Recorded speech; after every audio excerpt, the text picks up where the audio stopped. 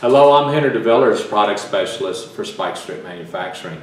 Welcome back to this video, just part of our series on the spike belt product. In this part, we're going to show you how the spike belt actually works. This is what the spike belt looks like when it comes to you. It is in a plastic sleeve that's designed to protect it from the weather, specifically from the rain. This system requires three of these particular sleeves that go into our deployment sleeve.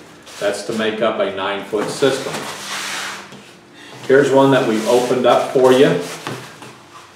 This is what it looks like on the inside. On the inside we have a cardboard sleeve and we have a foam insert with spikes inside of it. This is the spike, there's a point on the top and there's a point on the bottom. Inside this foam, inside this sleeve, we have 23 of these spikes in two rows.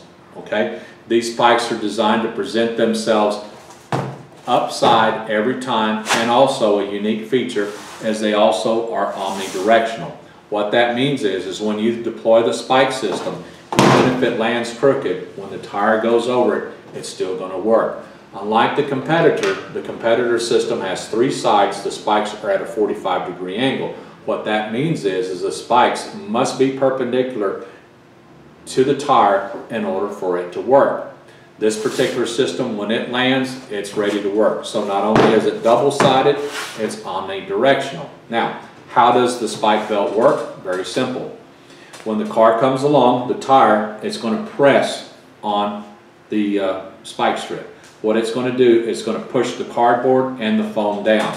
The foam is going to tilt. It's going to give you a slight tilt to the spike and the spike is going to stand erect. Why? Because the spike strip is dependent on the ground. All multi-sided systems require a hard surface to hold the spikes erect and the tire and the, the rest of the system will collapse around the spike and the spike will penetrate the tire giving you deflation.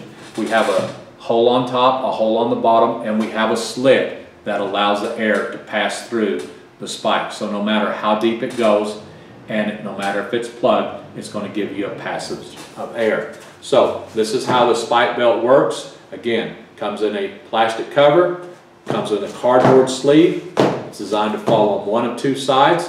Gives you spikes pointed up every time, no matter if it lands this way or this way. When the tire goes over it, it's still going to work as long as you have a hard surface on the roadway. Thank you for watching this series. We look forward uh, to you watching the rest of our videos in this playlist.